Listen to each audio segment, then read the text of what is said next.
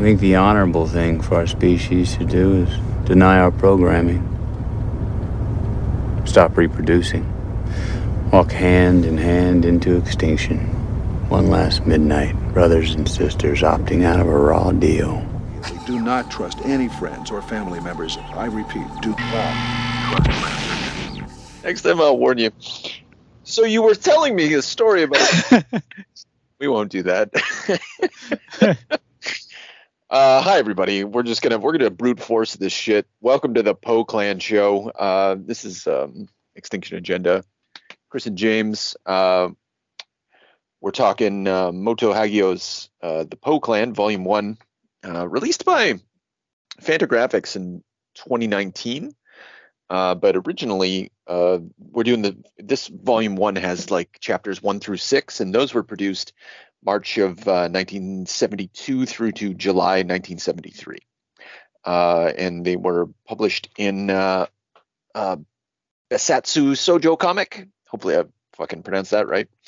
And um, yeah, this is um, might as well just not bury the lead. This is uh, this is fabled or or thought to be the origin of uh, a genre of of shojo girls comics, featuring boy love. Uh, I don't know how to pronounce the the Japanese word for that. Shonen-ai. I'll. That's my best guess on that one. It's a good guess. Yeah. Um. Yeah. Um. And how? and how? How? Yeah. Holy fuck. Um.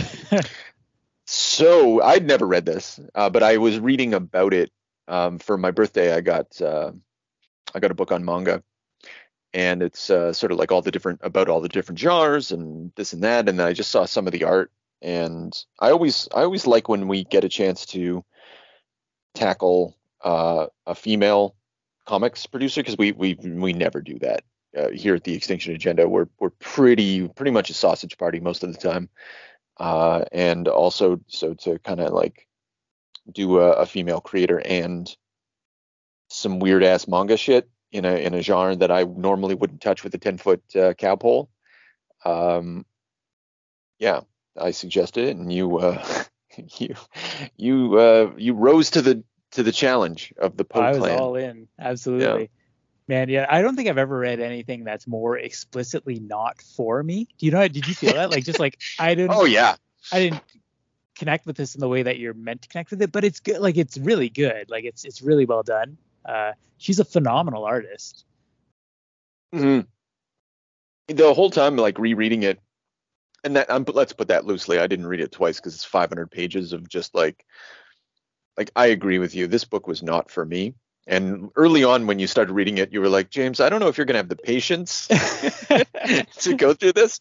And that was a fair instinct, but I managed to like I found my way in. Like the fact that it's um, like it's it's so obviously uh, indebted to the weird tale. Uh, and Oh, I never even thought of that really, but yeah, I could see that. yeah. Well, I was thinking of, you know, obviously Edgar Allan Poe, Poe clan. The main character is Right. Edgar. The other one's Alan. So there it is.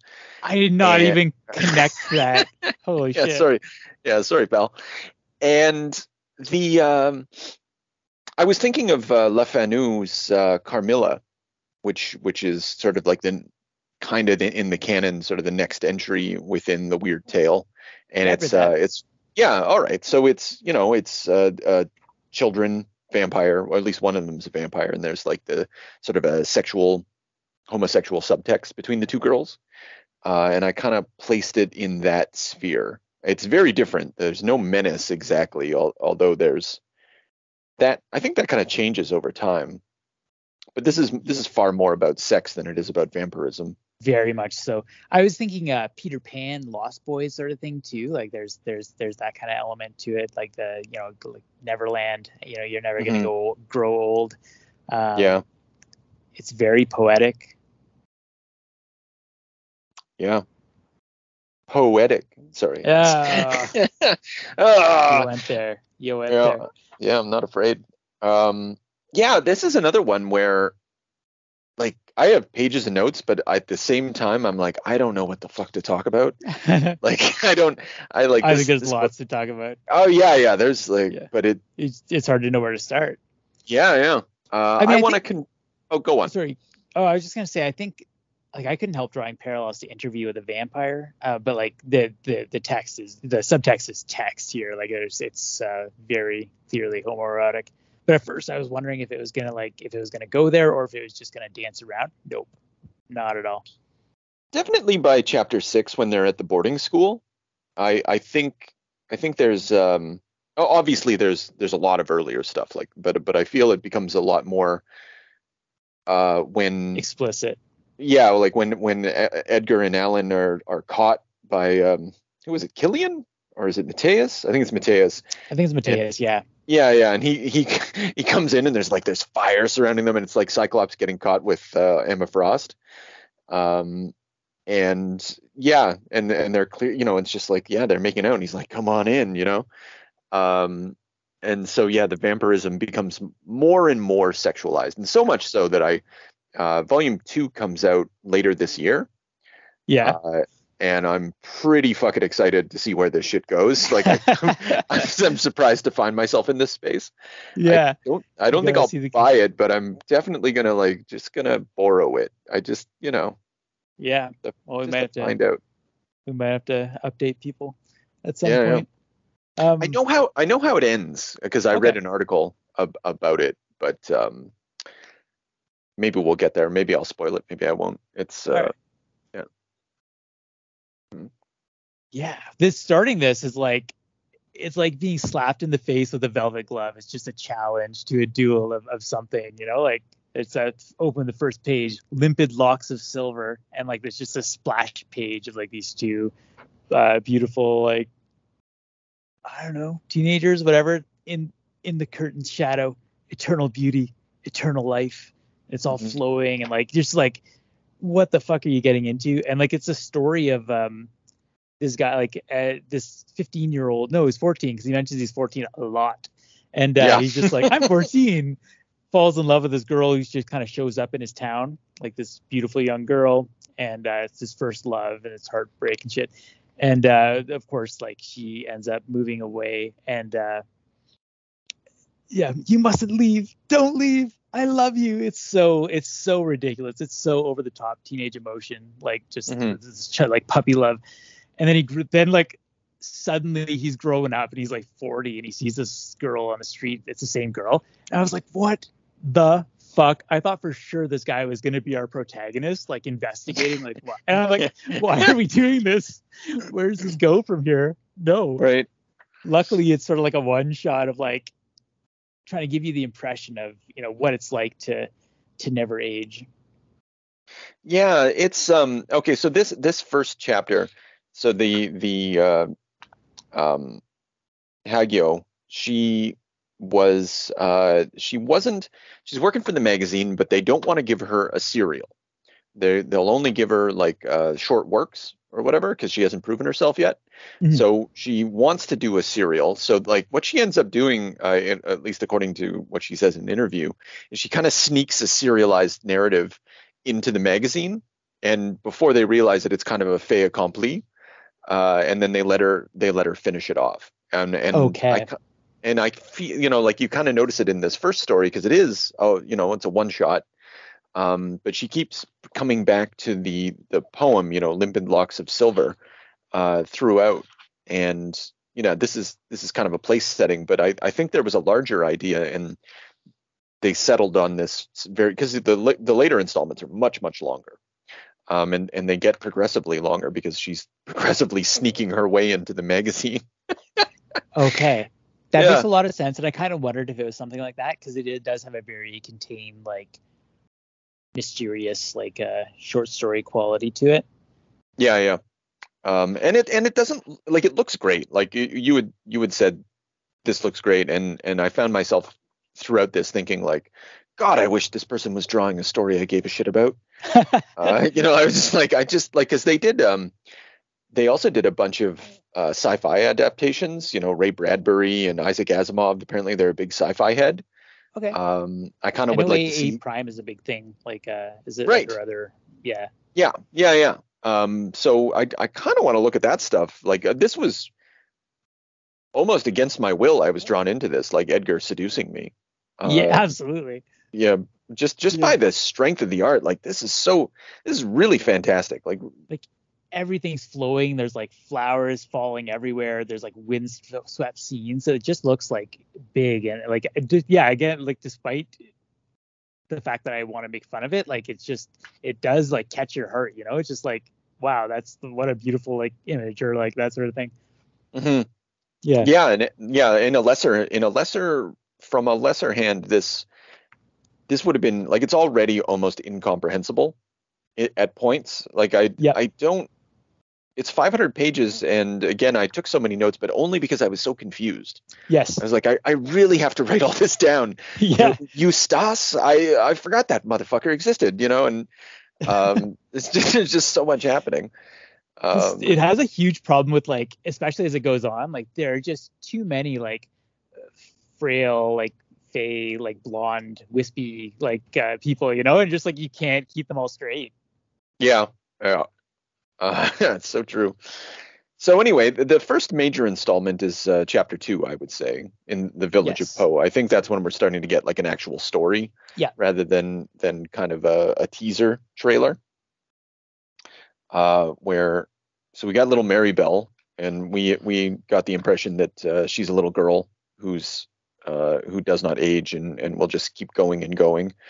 Um, and she gets a straight up fucking shot right off the bat, you know, right off the bat. Uh, in the first two pages, because like there's this hunter out and he's in a, fog, and she comes out, shoosh. Um, yeah, and he just uh, and Edgar's pissed, hits him with his own rifle. It was gonna blow his brains out. I kind of wanted to see that. That would have been awesome, but not that book, not this book. Uh, Yeah. and uh, yeah, and Mary Bell is uh, brought back into a, a village, and Edgar's of course pissed in the background, giving him the stink eye the whole time. This guy, what's his name? Um, the dad yeah, Oh, the, or, uh, or the- the hunter he's gonna, he, yeah, the hunter. He's gonna, uh, he's gonna write that journal. He's like Gren Smith or something like that. i can't remember his name I think, I think it's Glenn Smith. Glenn Smith. oh yeah that uh, sounds like- right yeah Yeah, I'm Glenn Smith, Lord Songbird. Lord, Lord, sorry, Lord Longbird. My fault. Uh, okay. Um. So yeah. Anyway, uh, Lord Lord Longbird is. I think I'm just gonna call him that now. Um. He's uh, he's very concerned because he shot a young girl, but of course uh, there's more than meets the eye here. yeah and edgar tells him yeah if maribel dies i'll kill you. If maribel lives i'll send you home. They're um they're brother and sister obviously and there's clearly like this incestuous vibe going on there as well.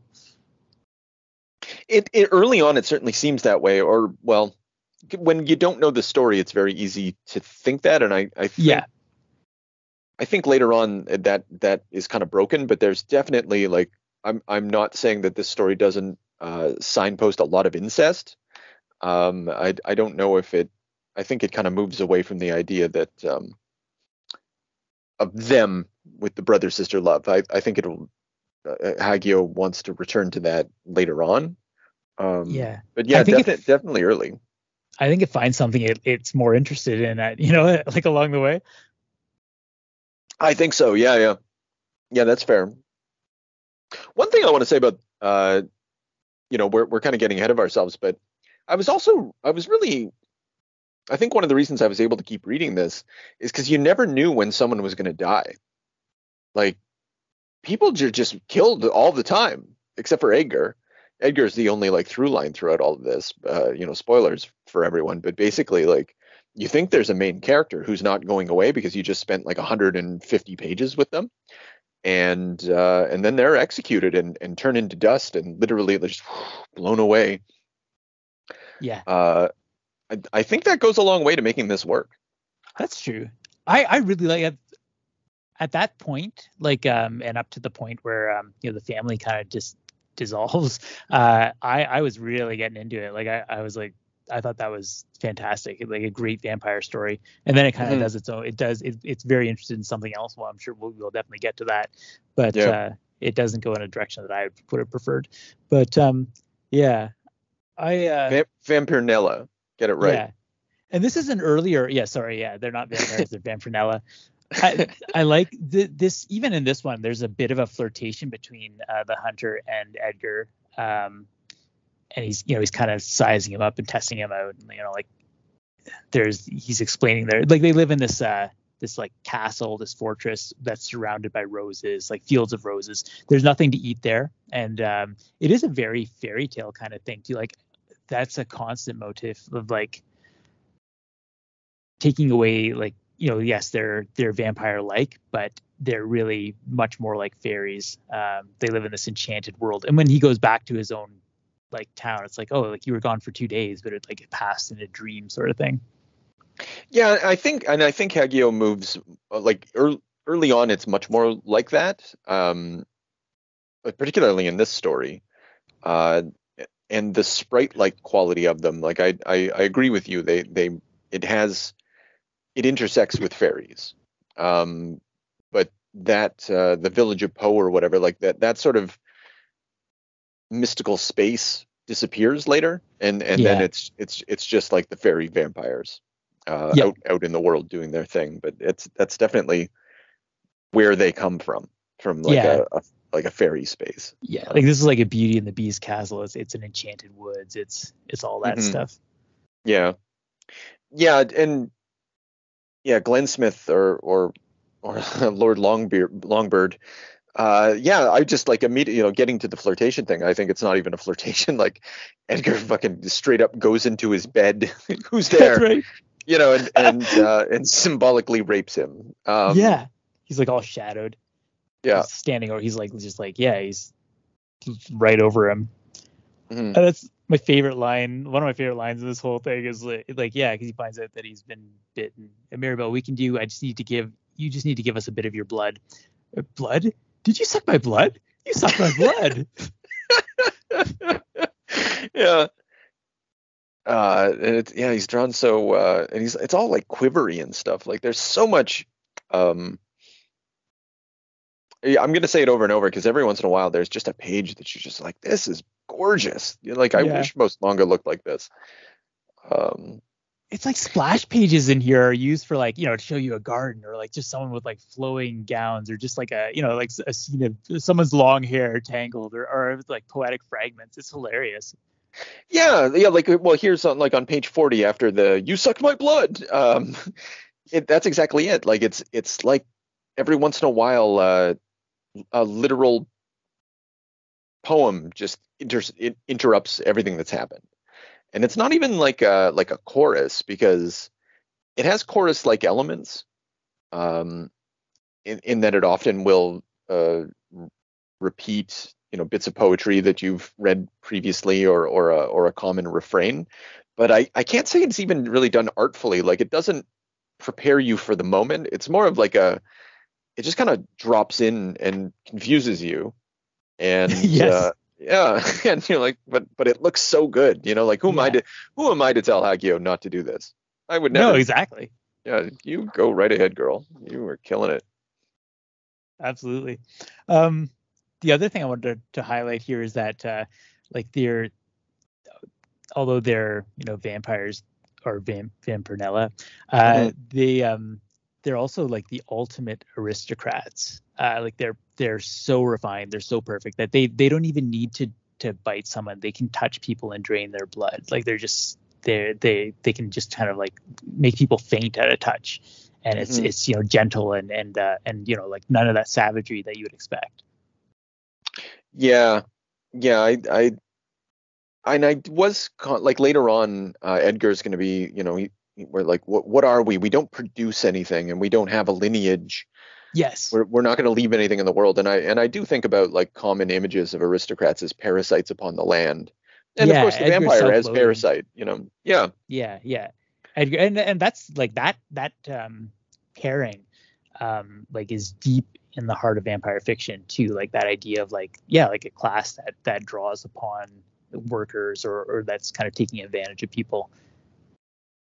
Yeah. It, uh, you know, I've never, I've never, uh, I've never read Dracula, um, and perhaps you're the one who told me this, or perhaps I heard it somewhere else. Uh, but my understanding is like Dracula moves on into London uh, in in pursuit of Will, uh, Wilhelmina, and you know one of the things that he does is is start buying up real estate. Yeah. Uh, maybe up. Yeah. Yeah. So yeah.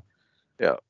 Yeah. So- there's a scene yeah, where yeah. they like catch him at a bank and like ambush him and he like drops his money bags. It's it's so Jesus dumb. Like nobody Christ, nobody ever puts that in any. Yeah, it's really stupid. Oh, I love that. Uh, that's Yeah. too bad. Uh, Bram Stoker, uh, not Bram Stoker, uh, Francis Ford Coppola left that out for some reason. I don't Yeah, know. no one ever no one ever features that for some weird reason. I would love to see that.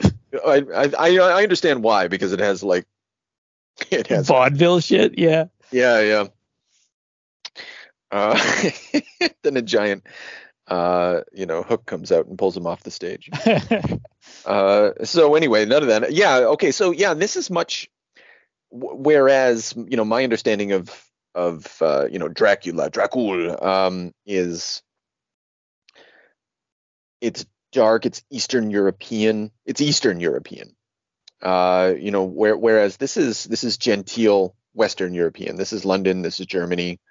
Uh, this is this wants to take Western European ideas of the vampire. You know, my understanding from reading what little of the literature surrounding this that I did is that uh, Japan doesn't, it didn't have its own sort of indigenous vampire culture, uh, and so, you know, maybe it has something vampire-like. I honestly don't know, um, but it, you know, it's it's just part of a westernization of of Japanese culture, uh, and to to pull this in and to pull all these um, these sort of tropes and and you know the weird fiction and the gothic fiction and um, romanticism and and all that stuff and and to um, yeah yeah and, and and to give it and to idealize it in the way that that Japanese culture was doing post-war.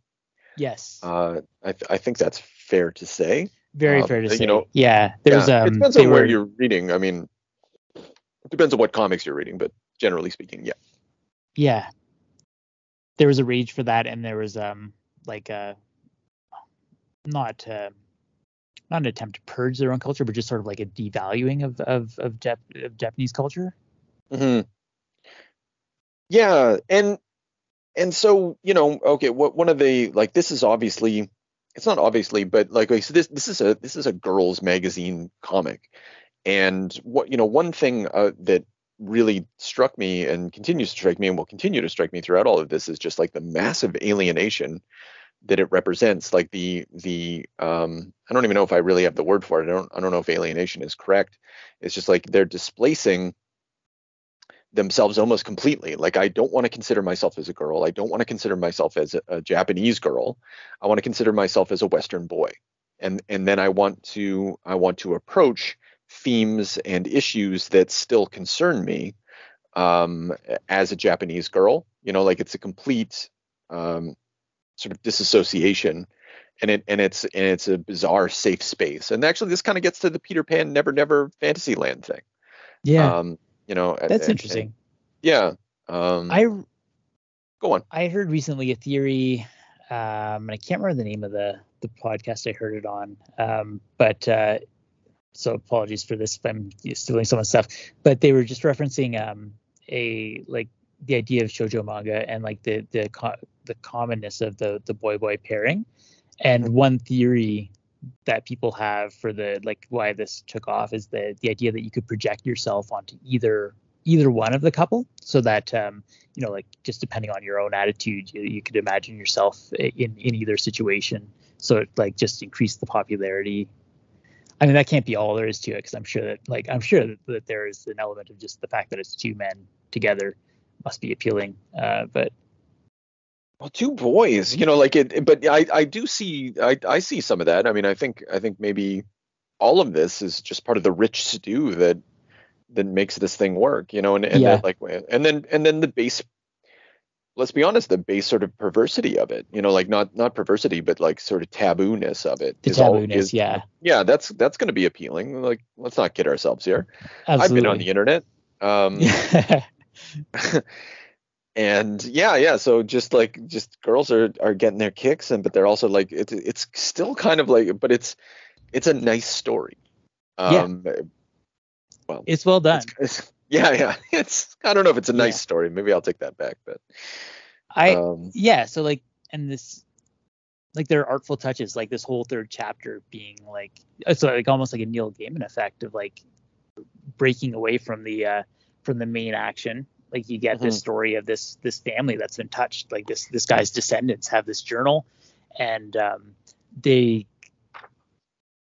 like their life is going shitty. Like this this girl's life, you know, she she gets married, her children are dying, like she's getting older, her husband's a drunk musician who just kind of like just you know a bit of a deadbeat and like this pro she has this journal from her father talking about this this this castle of roses and the the Vampirella and she just kind of clings to that that romantic idea that like there's a better better dream out there but it's like mm-hmm. all the time like her her own experience and it's going you know they're going through the war it's like it's Germany uh, uh there's a there's all the the turmoil that they're experiencing yeah, World War One, World War Two. Uh, it ends up in 1959 or something like that, and you know the the grandmother and the Longbird family. Uh, yeah, and she she was in England, um, and she coming came, you know, so she's uh, emigre. Um, and yeah, and, and then yeah, March 1959, uh, the I think it's the granddaughter uh, still has the journal and has this idea that they're gonna publish it. Um, I was really the yeah there there is something um, so it starts I think you already said this but it starts off like the daughter of Glenn Smith, Mr. Longbird uh, finds she finds his journal as because he's passed away. Um, and you know she's like shot a girl um, but then she's immediately like immediately possessed by the very concept of the eternal village um, even before she has troubles you know like she's just surrounded she, she ends up in that poetic space uh, with laurels surrounding her and that sort of thing. And and she ends up similarly obsessed because it's it's revealed that um, lord longbird would read his journal over and over going back to it and has sort of a um yeah like a narcotic effect uh, and and she's yeah she's addicted to it, moving on, uh, and never quite escapes uh, until her her own passing. Yeah, yeah, and the constant "You're a liar, Tony. So many promises you made me. You promised to make me happy." it's like she's just uh, you know life's not really working out the way she thought. I love one thing I love. Uh, I think she does really well uh, is just kind of sublimating emotion uh, you know, like the the the the surface emotion be- betraying another thing. Um, and the, you get a really good example here when she's like she's kind of walking on the bridge. Should I go home to England? Uh, I married and crossed the North Sea. Maybe I should swallow my pride. She's just kind of thinking about going back home, like her husband's gone, and then her daughter mm-hmm. tackles her, "Mama, I thought you were gonna jump." She's just like, you know, like, no, I was going to, but if, like it really does seem like she's, uh, you know, wandering that bridge for that reason, maybe gonna throw herself in. Yeah, and and we kind of see something like that later with Eustace, who you know, given a choice between two outcomes, refuses to choose. Yes. Uh, and uh, and just dips dips his wrists into the hot water. yes, right. Yeah. Um. yeah, and like it's it's you know, and uh, again, sublimating emotion or or like this is uh, th- this broken marriage and this this woman who who wishes to be happy and faces these difficulties is kind of meant i think to be germany in a in microcosm. You know things things are not going well and therefore world war one. And then things are okay for a little while and then things disintegrate again and then world war two happens. Um, and they want to say something larger about human I, and I think that's another reason this this book works uh, is is because the Hagio makes no wastes no opportunity to like somehow try to gesture towards something bigger than what is on the page, uh, and to try to like make the story be some sort of synecdoche, or or at the yeah. very least that's that's definitely what's happening here. I think where nostalgia and the the desire for the eternal you know, I, I was thinking of Timothy Snyder, um, uh, you know, writing about, uh, you know, a historian of uh, Eastern European history uh, specializing in fascism and the Holocaust and that sort of thing, you know, uh, makes the distinction between you know, like sort of politics and eternal politics. And eternal politics is you know tends towards ultra conservatism, fascism, etc. And and you kind of see that being played out here uh, through uh, a young girl's interactions with the diary of her, her, father, and you know, set against the the backdrop of of German modern modern German history. Uh, I don't know if what's that's what Hagio, and then and then of course you want to place it in the context of Japanese culture at that time, yeah, and everything they lived through. You know, like and and what are they really talking about here? Like, it's uh, definitely, uh, yeah. yeah, yeah, that's cool. I think it also it really impresses upon you that like way more so than any other vampire story I've read the the sweep of history and just how um just what a, like how brief people's lives are compared to these these uh, eternals like the the eternal youth of, of Edgar and well uh, mainly Edgar because Maribel yeah. doesn't, uh, doesn't last the whole time but yeah yeah and, and yeah I mean, and you know, I guess that that transitions well uh, for us to um, uh, chapter four. Yeah, because like, so the the granddaughter uh, who acquires the journal, she's just looking for a way to make money off of it. I think you're trying yeah. to get it published or something like that. And then, but they're talking around it at the talking about it at the dinner table. And uh, and then the little boy, the you know the, the descendant uh, of the Longbird descendant, he's in. Um, What's this kid's name actually? Uh, he's not. He, I don't know. He really doesn't show up anymore. He just kind of like bridges the chapters. Yeah, I he think. looks very much like the kid, like Mateus. Uh, oh shit. Yeah, he looks like him. I don't know if I don't think it's him. Um, yeah. But, and, and I don't know if that would add anything if it was him. Yeah. It couldn't be, but anyway, he he gets the impression that uh, you know it's Edgar and Allen and uh, you know he's like, oh no, there's no way that could that could be the vampire. Um. Yeah. yeah. Then, uh, so then we get like uh now we're flat and then we're flashbacking and yeah I yeah the comparison to Gaiman's appropriate because like all of a sudden the gates are opened up and like here's the full sweep of this story in in, in chapter three. Uh, and and it doesn't necessarily have to have these characters. Um, although for the rest of the thing, it does. So I like the comparison's not totally apt, but uh, but I, I saw what you were th- I saw what you were getting at. Yeah. Um, yeah, we get uh, what, what one's five when they're leaving? Okay, yeah, so we're getting back to uh,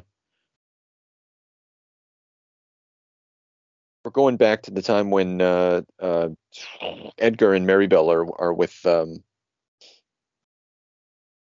Lord and or Baron and Baroness uh, Portsnell. What what the fuck is their name?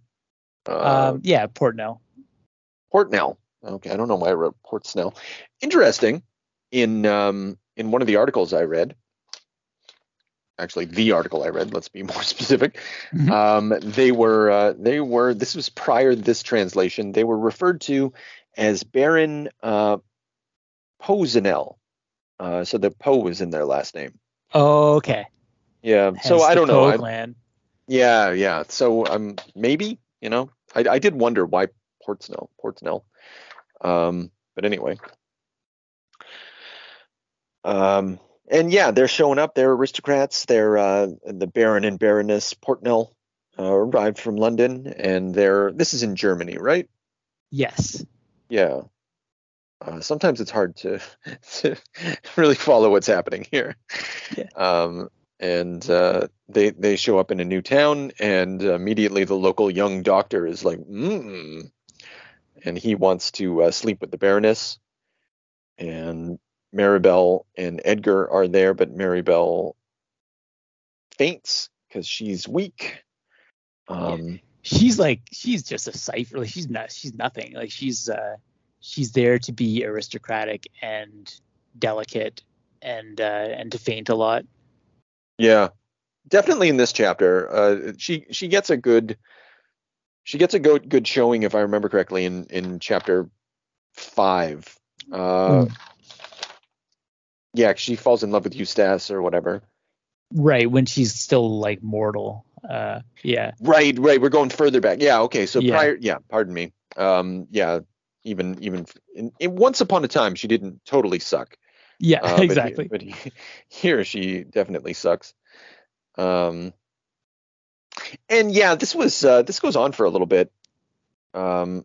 But we get the boy boy love elements here. oh man, this is my favorite chapter. I, I, there's so much to draw out of it. I think. Yeah. Well. Uh. Go. Let's. Uh. What do you got? Um, what do I have? Um, well, for I love the uh, the appearance of Alan Twilight, where he just like he's like some kind of platonic ideal of a of a nobleman. He's just kind of like charging hard on a beautiful black stallion. And he's just Yeah. like coldly elitist bursting out of some uh some bushes and uh like kind of like almost runs over Edgar. He gets thrown from his horse and then Edgar kind of runs over to him and he's like he's like sucking the blood off his hand, but it's like this sort of like it's almost like this um delicate, you know, like kissing the hand gesture. Like that that was the first like yeah, there's some subtext here for sure. Yeah, yeah. Well, actually, it, it the the sound effect is lick.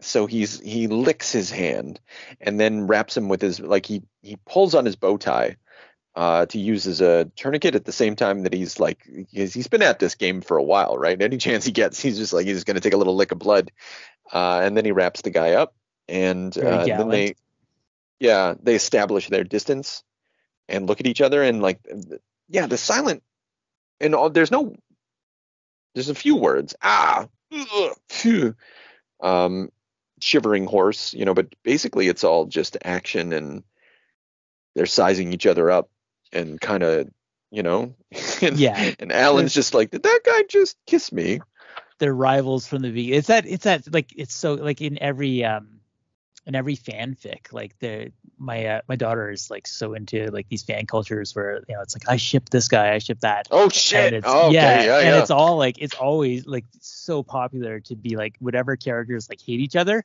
those Yeah. are the two that they're gonna put together yeah like starscream and megatron. Uh, my understanding is that yeah there's uh there's there's some fan fiction if someone wants to read about that. That's hilarious. Yeah. Didn't even consider that. Yeah i've seen i've seen pictures. I've seen pictures of them making it. I see. Um mm-hmm. uh yeah yeah yeah. I did that definitely stood out to me. I can see i dog-eared uh, a lot in this book because i was like i i don't really have a note. I just kind of need to look at it and kind of riff yeah yeah I get it. For sure. Yeah. Oh.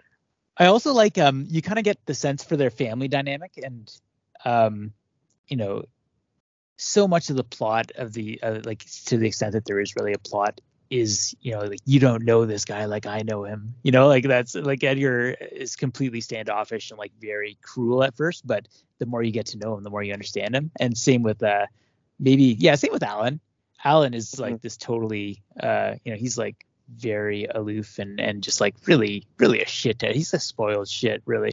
But uh he's like the um what is he? He's like the heir to the the nobleman's whatever throne? Like i don't know. He's he's next in line to run the town yeah basically. yeah. Yeah, and he knows it and everyone kisses up to him. So he, he despises everyone. He just he's sick of being um you know catered to yeah and one of the reasons he likes edgar is because edgar uh doesn't put up with his shit you know like exactly. Yeah. He's a i challenge I just want to be i just want to be cucked. Someone. I uh, like the um the family dynamic of like the, the- like Edgar's emotional journey is kind of like he's kind of like a kid finding out that his parents are swingers. Like they're like you know the dad's like we don't attack people, we select and we welcome the chosen into our clan. And he's yeah like, no fu- that's exactly it. Like yeah like getting back to that doctor like they immediately they're like okay that guy's into us. And you know they're they're basically talking about how they're going to slowly bring him in and and basically have sex slash kill him Yeah. um as uh as part of their like yeah they're they're really swinger culture.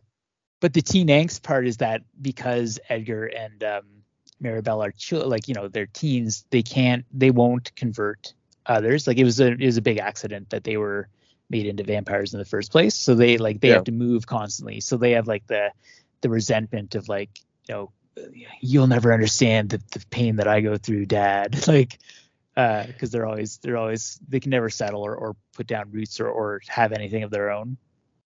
Yeah, well, I kind of want to jump ahead to chapter whatever six, uh, whatever, just for a moment when um, like their the origin story. Okay. Because uh, because there is there is something there's an Oedipal element to the relationship between Edgar and the Baron Portnell. Because uh, like he's at first little little Edgar's like he, he's got a teenage crush on um, what's her name uh, Claudia the the Baroness I, I forget right. her name um and yeah and he's and but and then he's he's he's genuinely disappointed when it's discovered like oh the baron's going to marry this woman.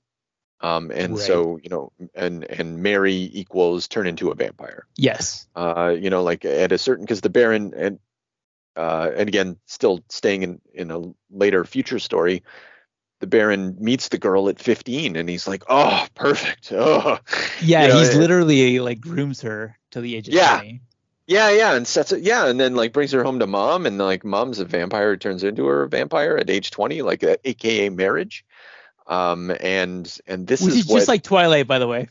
Yes, yeah. Alan Twilight, right? Like I was, yeah, uh, you know, yeah. I, I was like, did, did they know about this? Um, yeah. So there's, you know, like the the the subtext of the or or the the undertone of the family relationship is like Edgar's not just mouthing off because he's a teenager who's really hurt. He's he's also like I I wanted to sleep with mom, you know? Yes, uh, that's true actually. Yeah, I didn't yeah, it's definitely Oedipal. Yeah.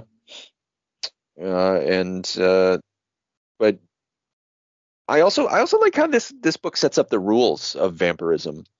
You know, Edgar, you're not reflecting uh, and he they they can consciously so they have all the vampire stuff but they they can reflect they can get, give offer reflections in mirrors if they wish. They don't have to be afraid uh, of crosses and biblical stories and stuff like that.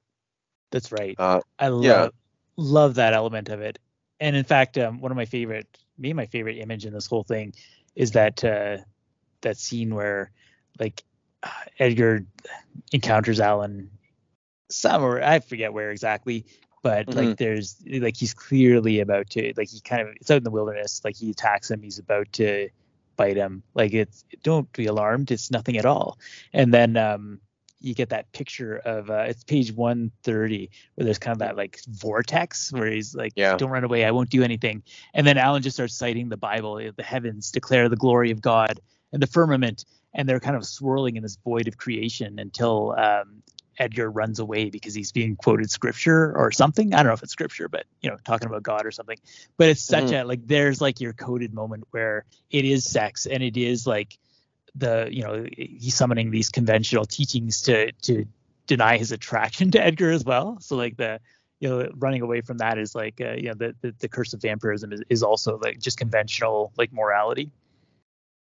Yeah, um, and I, you know, Lord Portnell and and Edgar runs home and he's like, oh, the jig is up, you know, like I I I kissed this boy, and now they know that, and now they know about us, and um, and and the Baron is he's just like, hold on a second, you know, like the, the you know just because this guy thinks that you're a vampire, like all that you need to do uh, like you ran away from the Bible, Duh, you know, and there's, there's basically he's like embrace secularism just like like forget all of those those social conservative ideological trappings and uh, and then make him disbelieve that you're a vampire.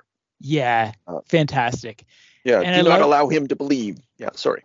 I love that the dad's like, this is a good place. Like these people are enlightened. They don't typically believe in religion anymore. Like we don't have to worry about it. Although some people like Alan may still cling to that stuff. Yeah. Yeah. Or they or they remember like if you ever attacked by a vampire, you know, start reciting the Bible. Like it's it's a defense mechanism. It's a, it's like yeah. an old school atavistic de- defense mechanism. Because like I don't think in any other context in this story, Alan is especially religious. I might be wrong about that. No, no, because no, he's in no, mass and stuff, isn't he? No, no, okay. Yeah, but I, he, I don't think he's like he does go to mass, but I think it's sort of like convent. You know, you're you have to go. Everybody does. Yeah. So it's sort of like it just kind of like bits of it kind of come to mind in that moment. I like um I like then that uh Edgar like uh like being gay becomes a cover for vampirism where he's like you know like oh you you were really strange in the woods the other day. I just wanted to give you a kiss on the neck. Yeah. Well, you seem so down.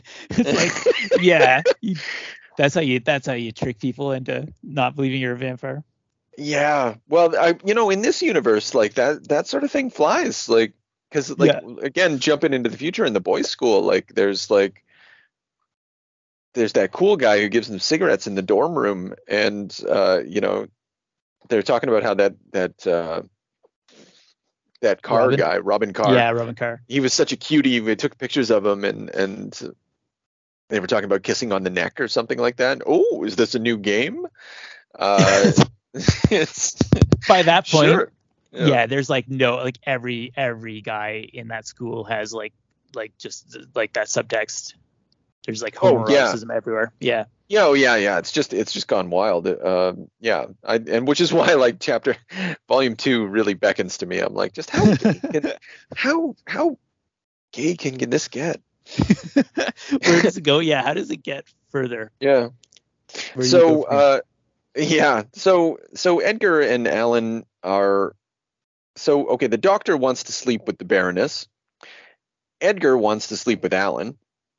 Alan wants to sleep with Maribel, who is uh is Maribel still there at this point? yeah she is still there Yeah, so he's he's into Maribel, and this the, so Maribel's kind of like his beard. Um, definitely And yeah, and then how does it? Uh, is this is this the story when uh, Maribel this is when is- she dies yeah Yeah, this she's fucking straight up executed. yeah Yeah. Oh yeah, that's like it operates on such a high level here though like there's some there's Yeah. like this dizzying panel transition where like he's looking at the window and it's raining and then all of a sudden on the next page you're like it's Maribel like looking out the same window uh and like uh, you know kind of thinking of him and like it's really cool and there's also we kind of find out some of these family secrets like uh, Alan's family he finds you know what it's all like this convention just gets obliterated. Like family is revealed to be just like I don't know, corrupt or like just a, a lie, uh, uh, something that is you know not not needed. Um, he, Alan finds out that his family um, is like uh, built on incest. Like his uh, like he's he's supposed to marry this. Um, it's the typical marriage plot, right? But it's like uh, she like he's being forced to marry this woman this cousin. So it's like you know in, in a typical story it'd be like the woman like just doesn't want to marry that uh you know like uh, this lout or whatever and and longs for romance. Like the, he's in that position here. Mhm. yeah. And then he finds out the terrible secret and like kind of like runs out and he's like maribel like take me away. And then um of course uh alan's family uh sorry edgar's family is about to be destroyed too and it's it's like you got to clear out like all this heteronormativity stuff so that so that we can get to the real story Yeah. Um, and it's all coded in this like place beyond time. yes You know, like yeah, like join join me in this. Like, there's no, it's eternal. It's you know, and, and it, yeah, which you know, I, I guess I guess makes sense because like vampirism equals um, desire, uh, homosexual desire, but also you know, uh, as we've already sort of discussed, like a a means for a young Japanese girl to displace themselves and and experience some things without actually experiencing some things. yeah Um, but uh, yeah, because what's it? The doctor's starting to figure out that they're vampires, and he's freaking out.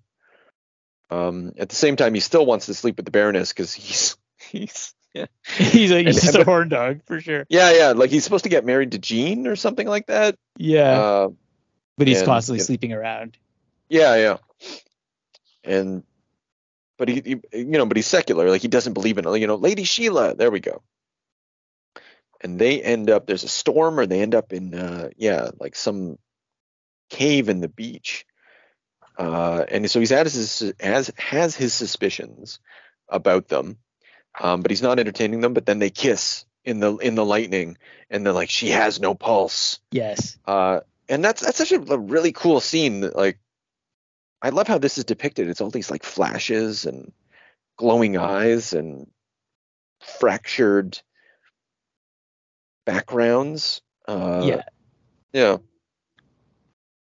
it's really like um, Strum and Drang. Is that is that how you pronounce that? I think so. Uh, I've never actually had to say it out loud. Yeah. I just I, I think it's you know it's it's just the, the in in typical sort of manga fashion the the background.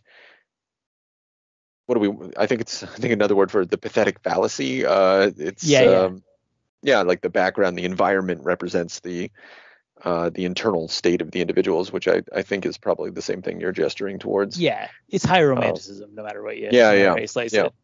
Yeah. Every blood vessel is dead. Uh, yeah, and he fucking freaks out and stabs her with a pitchfork. Yeah. Tries to anyway. What a dick. Yeah, he could have just slept with her. Yeah. Uh, I think she was gonna eat him though. So That does seem to be the way, but I think they bring people into their clan that way. Like I think it's like I don't know. It's hard to say. You never know. do you think do you think that's what was gonna happen? I, I like it's not clear to me that they were gonna take the individual into the clan. They had a whole village of uh yeah, I guess they have more of a ritual when they're actually gonna when they're actually gonna bring somebody in, don't they? Yeah, which a um, more ceremonial. Yeah, a, a, a lot like like I was I was reminded of early modern European uh like like sometimes people would watch at the marriage bed to make sure that there was consummation. Oh shit. Uh, Did and, not and realize that's that. Yeah that's and and that was uh that was one of the uh things that I thought of. I was like basically you know the Edgar you know comes across this marriage ritual. It comes it, you know arrives at this moment of the consummation of the blood being sucked or whatever. And basically like basically he walked into the room where like people were fucking while everybody was watching. Uh and you know but it wasn't the place for him you know like this that, that liminal state was not for him as a small boy uh that that transition that moment of transition into adulthood was forbidden Oh yeah, uh, Freud's primal scene, as we learned in. Uh, in yeah yeah the Yeah. yeah. that's right the primal scene so yeah i was i was and it but it, and it's not actually his mom and dad but it is mom and dad Yeah. um so so anyway that's that's what i was thinking of and then uh why do you live demon why Yeah, they go full on uh, pitchfork villager. yeah. Um yeah and then edgar like okay yeah so uh they maribel gets killed uh turns into dust um so yeah so the doctor kills baroness uh then kills uh maribel like it's shot. Five rounds rapid right into the back and uh and then edgar yeah shows up as spirit of vengeance Uh, we, yeah, here's yeah. We create nothing, give birth to nothing. We have no legacy to pass on to the next generation. Why do we live like this for such long ages? I cannot speak for others, but as for me, and I don't think he does. He does he answer that question? I don't think he does. Yeah. Well, there we go. No, the curtain falls plays ended. I'm I'm free. Or actually, no. At that point, he's not free. He- will be. but- Yeah, yeah, yeah. yeah. This is the yeah, like he's like, is this the part? Like Edgar just kind of shows up at his window, and he's like, he's calling for Maribel, but it's Edgar there, Mhm. right? Yeah, Yeah, this is the pistol you shot Maribel with. Uh, and then uh, Port, yeah, Portnoy killed, um, and so uh, basically Edgar Edgar goes to go get Alan.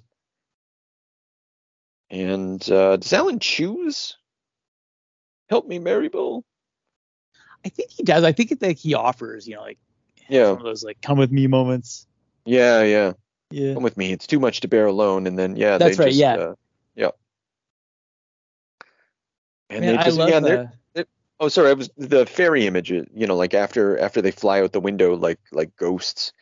There's that one page on page 195 where uh, Edgar is depicted uh, like explicitly like a fairy with uh, sort of goat legs, uh, you know, shepherding the the little boy under the you know uh, the auspices of a woman, uh, possibly an adult Maribel. Who knows? Um, Yeah. Yeah. anyway, you were going to say something. I'm sorry. I think I'm jumping ahead. I think I got confused as to um, a different uh, different mob riot against Right. the uh, Yeah. Yeah. Yeah. the- Oh yeah, we're gonna get ahead. full pitch. We get full pitchfork later. Yeah. Uh, yeah. Yeah. Early on, it's uh, with with the doctor uh, Clifford. It's just uh, he's he's a one man riot. That's right. Yeah. So from this point we go we flash back into the past. Like so yeah, they're together, but now we're gonna find out the origin of why Edgar's not such a bad guy after all. Yeah. What a yeah, he's a good guy. Well, actually, before they flash back though, once again, f- firing on over to that boys' school. Uh, they're transfer students. You know, like we. That's right. We get that little preview of what, what's to come. Yeah. The, yeah. That's a cool they're like almost like ethereal looking at the gate too. hmm And yeah, it's it's like all the stories are leading slowly, slowly towards you know 1959. Yeah. Um. And uh, but yeah, we have to go back a little bit further, a little bit, see, um, and find the abandoned uh, Edgar and and Maribel. Yeah. uh, picked up by old Hannah. I didn't care. Like, you know, like for a long stretch, I had no notes because this is like a very, I don't know, I just didn't care that much about this part. But Yeah, it yeah. is- it was interesting. Like, it's it again is a fairy tale thing. Like, it's the wicked stepmother plot where they were, Mhm. you know, this this woman basically had their nanny like bring them out and she was going to have them killed but the nanny couldn't do it so they survived wandered were found by this vampire family and then later on they're going to come back in this sort of like aristocratic um, succession drama like uh you know like where you know the the the true the the, true firstborn is now arrived again and and like they're now you know if if this woman doesn't eliminate them then her her chosen her favorite son isn't going to be you know inherit everything. Hmm Yeah, I I uh, mostly I was I was struck by just like little moments like uh, after Edgar runs away from the so we already talked about the the ritual. We already talked about uh, the Baron waiting until his 15 year old girl was 20 to get married. Uh, and Edgar runs away and like all they do is like Maribel's there and they just kind of hold her in the forest and call yeah. Yeah, and, and call for him you know and they um and it, yeah it's it's it's uh it's a good threat. And i think also in chapter two i think well i guess we'll see king poe or That's volume right. two. Uh Oh, I, I was not he's i gonna thought come of vampire the masquerade well i don't know if we will but he's like i, I, thought of find him. vampire too. Yeah yeah. It's just Yeah. like oh is one of the uh shit what are they what were they called? the antediluvians or the antediluvians yeah yeah. Basically he's an antediluvian. Yeah. Uh, or something. Uh, Yeah, it's- yeah. it's He's just like, vampire I'll find another vault. Yeah. yeah. Yeah, he like wakes seldom. Every time he wakes up again eh, like men are crueler than last time which i don't believe at all. Like get get some perspective man. But Yeah. uh that's fine i guess uh, if you're just waking up for a little bit as a vampire then maybe it just skews your perspective um and then yeah like edgar's gonna be embraced by this dude and because like he's getting the good stuff directly from the the master's veins like he's gonna he he's like high status even among the vampires even though he's like a young convert because he's got uh, you know he's he's tapped directly closest to the to the life force Yeah. And this this whole sequence is just. I did I did think about it, you know, because again, I can't help but think about this in the context of of a girls' magazine. This this idea of like you know a changing inside my blood, my flesh, my bones, my entire system changing. Um, there's you know there is something of uh, a puberty happening. yeah Uh, that makes you sense know, my blood flows languidly, my body grows a cold, almost frozen. Uh, and then and then the the Hagio, you know, writes about like what inspired her to get into comics, and it, it's you know, it's Tezuka.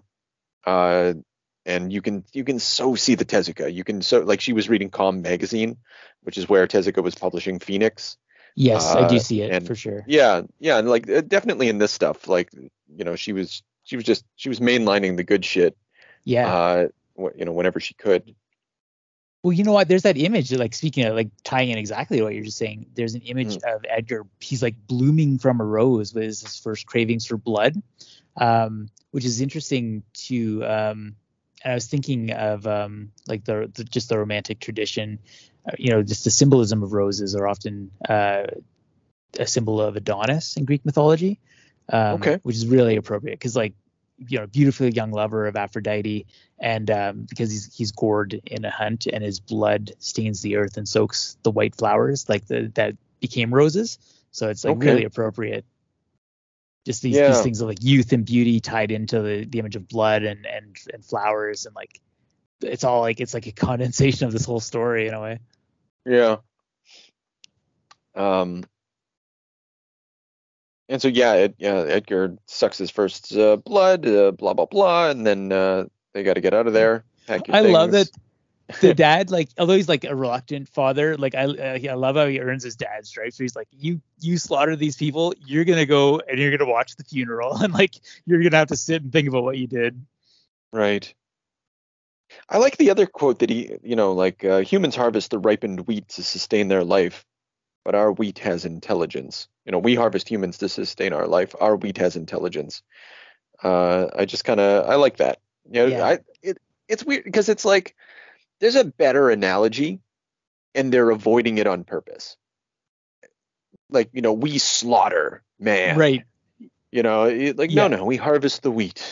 Yeah. Yeah. Everything's very nice. It's very gentle. Yeah, because they're refined, exactly. Yeah. yeah. Um, uh, I like important quote there too when he's he's uh, like Edgar's like he's like he doesn't feel bad about it, and the the dad's like I don't care, like that's fine, but uh, like you got to realize that you know you we have to keep ourselves hidden or else we're gonna die, and um, Edgar just kind of like you know turns on him, spoiled teenager. Yeah, where do you keep your feelings? Because obviously you feel nothing like sympathy. But that idea of like the the, the feelings being important, um, like that that kind of lingers over. You know, like where do you keep feelings? And like there's a lot of feels for the rest of this. Like there's almost like the plot is like just edging of like a confused young man who like can't express giant feelings. Like that's that's where it keeps going. Yeah.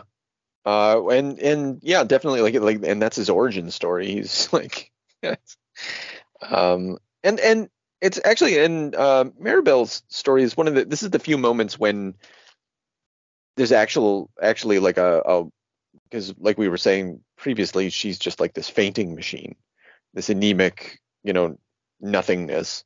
Uh, but here, you know, there's something like a young girl's romance.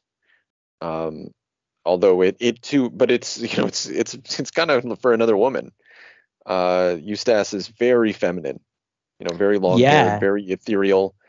Um, there's um yeah, there's a lot of gender bending in this, and we haven't really talked about that, but Eustace especially. mhm. Eustace, right? Thank you. Yeah. Um, the yeah, yeah, you know, again, it's uh, well, not again, but it's uh, he, you know, he, uh, you know, coded as he or or pronouns he in this, although for all intents and purposes, you know, she. Um, Mama's boy. But then, like all the boys could be girls in this, you know, like Yeah. all the main characters could. It's it's very like later on.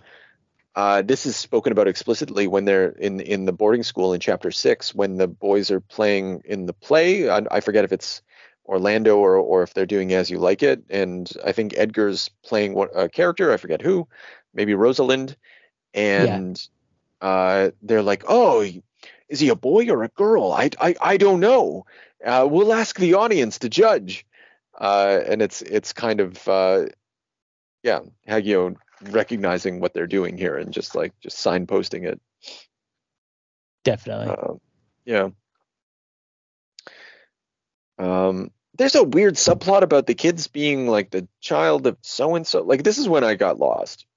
I was like, Yeah. this is this is too much work. You're asking me to like care a little more than I want to care yeah, about the it's ins very and outs.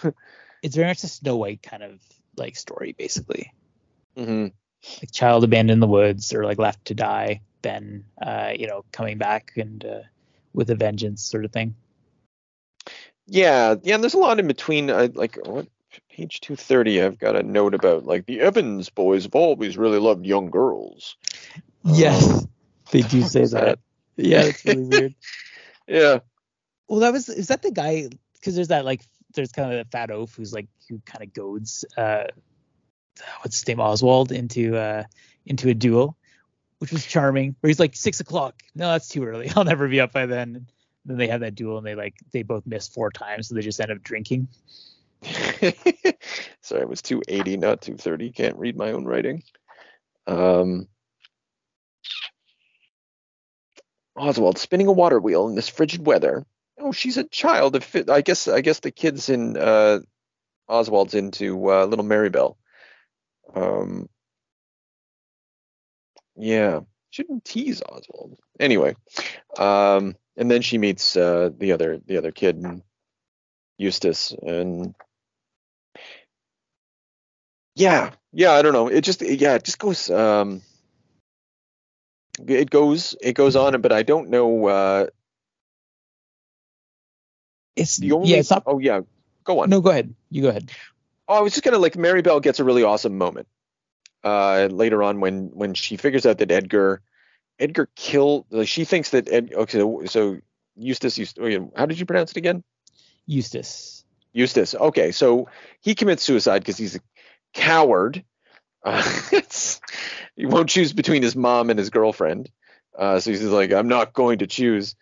And um, and then so so Marybelle thinks that that Edgar's the the culprit in this instance, and she she's like, she goes to bed. They they were they're talking about her and they're like she the, the, her kind is prone to fanaticism.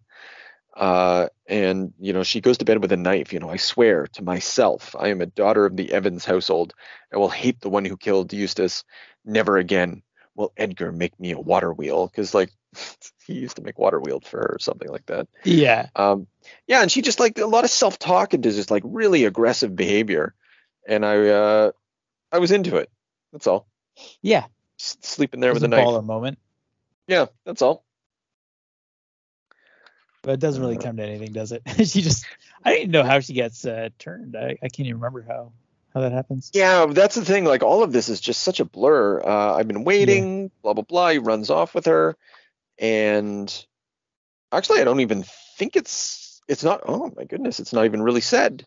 Yeah. Uh, it's yeah. just like she kind of emotionally reunites with Edgar, and that then we just, I guess, we assume that he converts her at some Yeah. point. Yeah. what really fucking so um the kid Oswald or yeah Oswald who had fallen in love I think it was Oswald he falls in love with Marybelle and there's this like older woman who I guess is his bride to be like this fiance and he's silly boy you know and she's like she's talking to him and and and there's like all the stuff that has happened all the death and destruction and she's like I for one will never leave you we are going to marry and raise children and make a happy home together, we can get it all back. And that's the end of his story. He yeah, like and that's he, he disqualifies himself by by going back to the uh you know the conventional uh family. oh well, I suppose that's true, but like I've just there's something arresting and creepy about that. It's just like Yeah. like like it doesn't you know it's it's a different sort of eternity.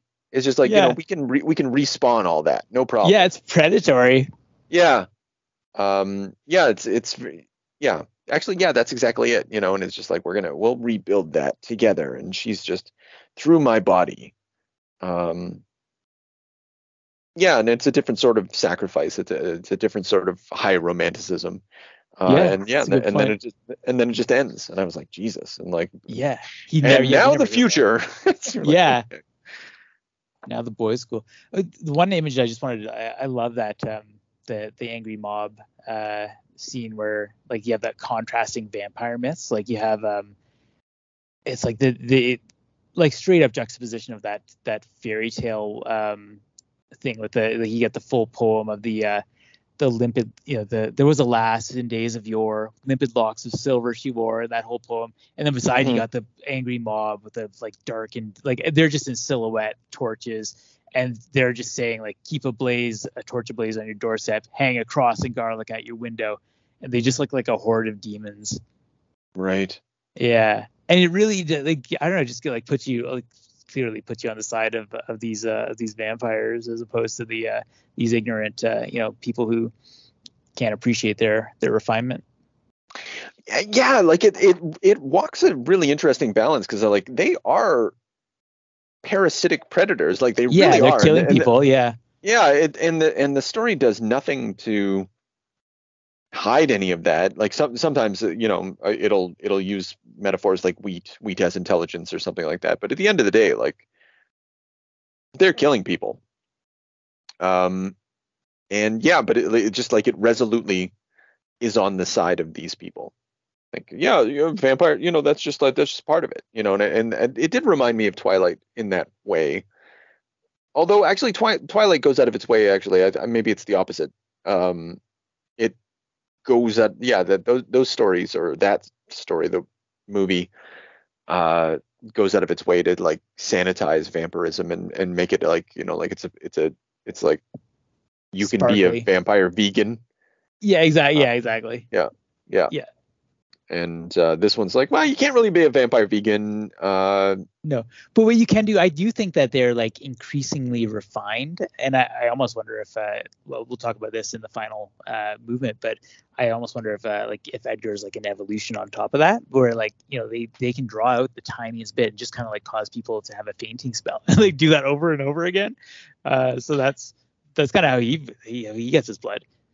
yeah yeah uh, In fact, yeah, I, I was very confused by this, but there's the uh, like he talks about like surviving on the essence of roses, and I mean I guess that could just be like a coded like they have a little vial, and like maybe they're Mhm. just like drawing intense nutrition from it, but it it seems like he has some sort of like special ability to process it because he's close to the Poe founder.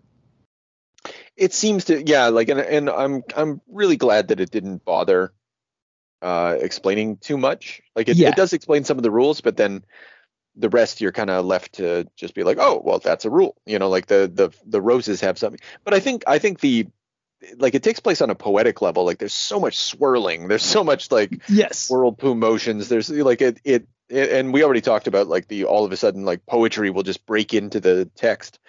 Um and i think i think the the text i, I think hagio is like well the roses represent blood and Yeah. youth and all the you know and just like just use your imagination because this is a girls comic uh and they've and so later on yeah their their vial is broken Yeah. Uh, in fact, in that last moment, like uh, the last movement, rather the like the final chapter in the in the school, like more Mhm. so, like she just like fully embraces herself, and like there's so many of those like splash panels and like guys with like flowing hair and shit like that. It's pretty Yeah. amazing. Yeah. Yeah, sorry, I'm just looking at one of them now. The um I was confused I, w- I was confused. I I did reread uh like I skimmed I skimmed and sort of took notes through the other stuff, but I like I was like I did not I th- I think I was just like my endurance had run out uh for chapter 6 and so I was like okay, I'm going to I'm going to reread most of it cuz I still wasn't going to read it, reread all of it cuz like what the fuck um, but it's them at a boarding school, 1959. Uh, they're coming back. They're like some kid has committed suicide. Uh, Jimmy Carr, Rob, Killian, Robin Carr. Robin Carr. Pardon me. Um, I don't know where I got Killian's the like dreamy, like uh mysterious, tortured heartthrob. Yeah. And Mateus is uh, the flower guy, the the kid who who grows flowers. You know, there's a metaphor. Uh, just Yeah. embracing it completely. And they, yeah, the two boys show up. Um, and from London, and this is Germany. And uh, yeah, they just uh, the bird's nest. Yeah. Um, And I'm gonna say too that this like the last movement is defined, I think, by two things. First, there's like this lover spat between Alan and Edgar, and they're kind of like flirting with other boys and like doing it kind of to make each other jealous. And there's also that like mainly the mystery of the death of of uh, this this Robin kid. hmm Which the ultimate explanation for why he commits suicide is really chilling. Um, I, I don't Tell think me I, because I, don't think I understood it. Okay, so okay, so he he uh, the the he, they first encounter him as a like you go to page like uh, 473 um, they find him as a baby. Like, You know, they find him as a child, like a fucking real young He's kid. like five or six or something like that. Yeah, yeah, and and they're like, "Oh, little Robin, who are we? We're angels, Robin, and show me your wings." And they just come back, you know, like, and they're they're his little childhood friends, like the Peter Pan thing. Um, but the dad, you know, the little Robin, his his, I think they're they're grooming little Robin to become a vampire. Like yeah, them. for sure. Um, but the you know little Robin's they're they're kind father, of testing him, I think, too. Like I think they he says something like, you know, we were gonna look in on him, and if he didn't, there's some sort of standards where they would they would you know carry him over if he did this. I can't remember what the condition was. Right. Maybe we'll see it in a moment, but you know, but Yeah. when he was seven, his parents divorced, and he went with his mother to Liverpool, um, and and then the father abandons him. You know, in the end, Robin's father left him at school, remarried, and moved to Italy. And so the you know the little kid who was seeking eternal life, you know, he he commits suicide because he was so sad and lonely. You know. yeah, he- and he's asking and- his last words were something like "angels come" or something like that. Like yeah. he, like he was like hoping that they'd save him or something. I think so. And, I didn't really and he was understand. he, he was well, he was bullied by the kids too. Yeah, Um, by Killian most of all. yeah, yeah. And so Yeah. you know, there's that moment where Edgar's like, you know, we killed. Uh, you know, they're always talking about who killed Robin Cock, and you're like, okay, you're just making it way more explicit than you ought to. But um, uh, yeah, you know, there's this idea that um, they uh, like I don't. They killed him in the sense that they didn't save him. That like they didn't they didn't come back fast enough. yeah, Whereas Kill- Killian's bullying uh, literally killed him or sent, sent him into suicide. Um, but all of that, all of that sort of in the like, it was one of the reasons I I found it so, and I only really kind of understood it in in reread is just because like it seems so tacked on. yeah, It, it's you know like who did this? Who who killed Robin Cock? Who killed Robin Cock? And then, like they're saying I did, I Sparrow, I did, and it's kind of you know kind of signposting it, but then at the same time there it's not because it doesn't really explain anything. You get two pages worth of like uh, forced text, and then you're stuck with it. yeah. It's almost like a it's almost like a memento like telling of the story where like a thing will happen, you're like, what the fuck just happened, and then like five pages later you'll get some sort of explanation that isn't quite satisfying and like Yeah, I found this one. Yeah, it took me a long time to get through this because I just like I was confused constantly. Like all the guys look the same except for like there's like one or two dark haired ones. And it's a whole school of boys and they're they're all like flirting with each other and you're just like I just don't know who you are. like yeah, yeah, yeah. It was really tough, and it, it it's a shame because uh, like I think it needed to be half as long. right? yeah, like the the main emotional beats could have been hit you know like because what Yeah. you said is true that you know it is a lover's spat they are but it involves like the you know once again maribel gets between the two of them in an indirect way there's there's uh, you know the the old teacher he has the little locket and it's got a picture of essentially maribel and alan gets jealous so he steals the watch Yeah. um and uh and he also s- so that um what's the the flower guy's name again? Mateus? Matthias. Yeah, like he's kind of like throwing himself at Matthias, like kind of leading him on. And but uh, like he grows these rare roses, and like the most barbaric thing that like they do in this chapter, like I, I mean like it's ridiculous, but like that's it is- really is the emotional effect that this story wants to give you is that Hmm. like it took three years to to to grow them, and and uh, Alan like cuts like sneaks in and cuts them up so like they're just as they were about to bloom you know like this this moment of rare beauty is destroyed by alan Yeah, and later on when he tells him, he's like, "What's wrong with you?" Yeah, exactly. It took Yeah. me three years. yeah and it's like obviously like a you know like a a displaced strike against edgar too because it's like the the roses are his thing that's a symbol he can draw sustenance mm. from them Yeah, and Alan's really explicit. He's like, "Don't you like me more than your roses?" You know, you should have you should like me more than mary bell Uh, he's just going on about it, it's very yeah, yeah, he's still hung up on that shit. Alan sucks really, like, and I think that's probably why, like, uh, despite the fact that Edgar wants to maybe kill Killian, depending on his involvement in the, you know, Robin Carr's death, he's also like falling for him. It's, it's another of those like, you know, you if only you knew the real Killian, like you wouldn't, you would realize that he, he has so much depth. Yeah, such a Yeah. good guy. Yeah, he like he wanted, you know, he he lost his parents too, but like he just this uh this Robin guy drew so much emotion out of him and like this hatred because Robin couldn't keep it together. He was weaker, and so like he chased him into the swamp and all this shit. Yeah, and I've been uh, so there's uh I'm I, I'm just looking at it now. It's uh page 464. Maribel's uh broken into the narrative all of a sudden because uh, Edgar's having a fantasy where she's like a ghost out to embrace him. And what does she say? I've been I've been waiting for the angels. You know, like so she's Robin Carr in this instance.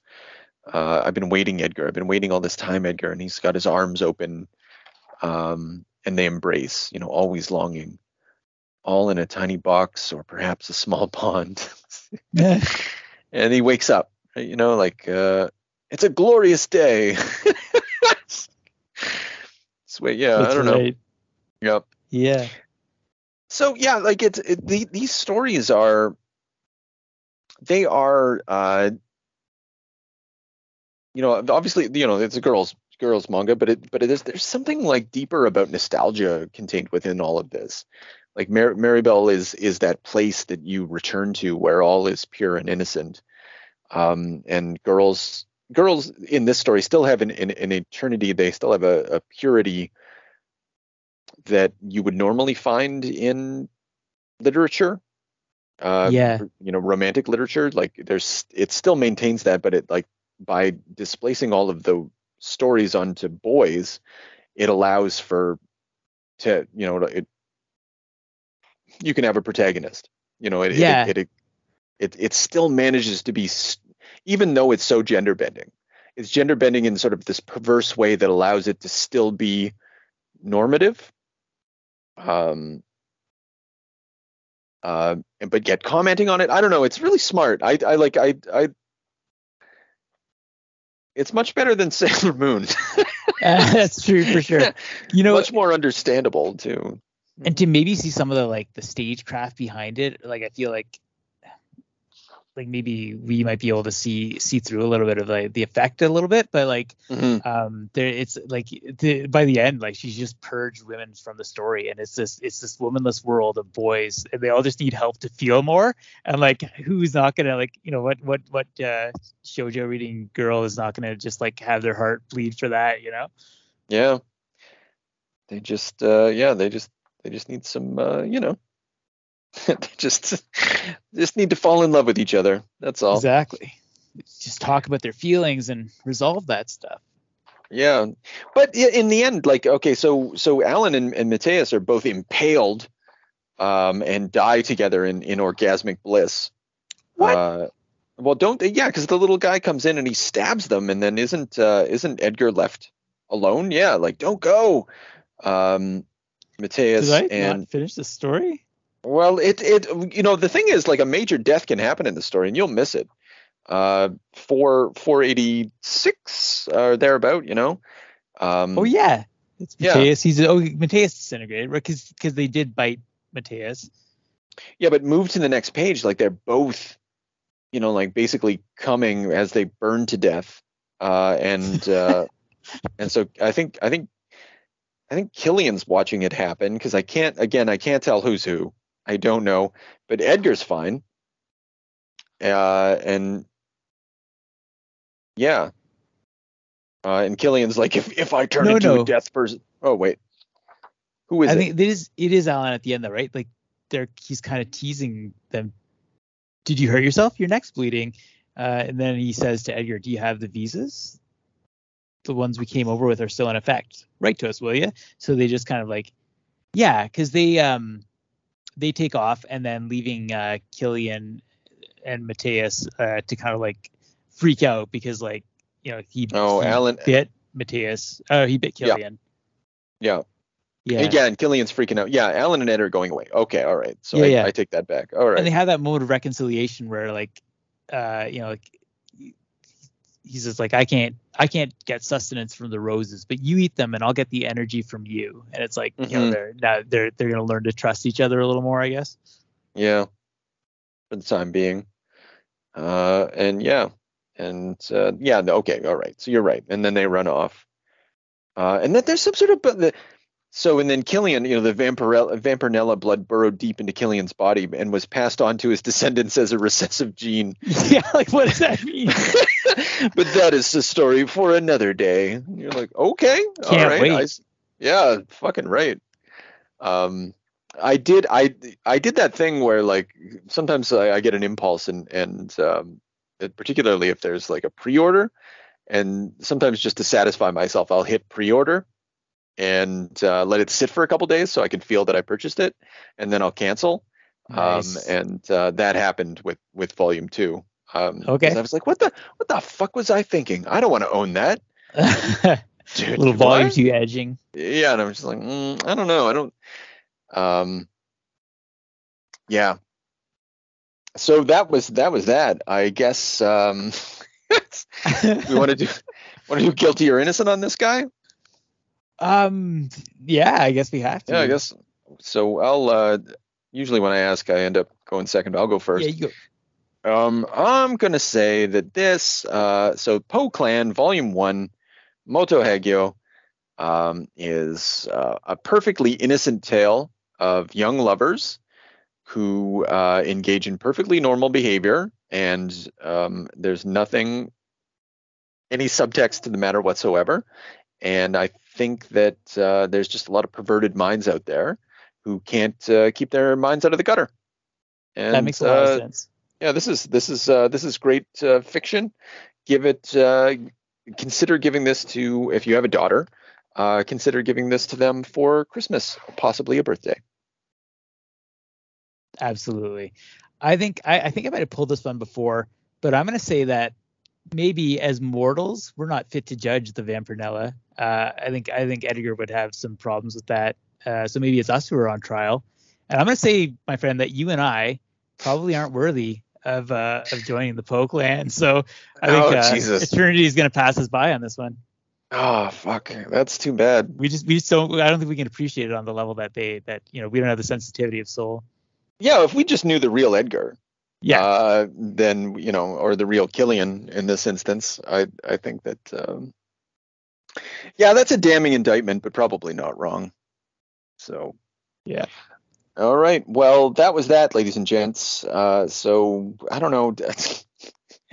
I don't know if I I recommend this. You know, like I I think anybody who uh, uh, who likes comics and just wants to see like something, you definitely got to see this. I think so. Um, It's interesting. It's unique. Um, you're Yeah. never gonna see anything like this, and it's it's you know it's it's just so beautifully rendered. Like honestly, so Yeah. check it out.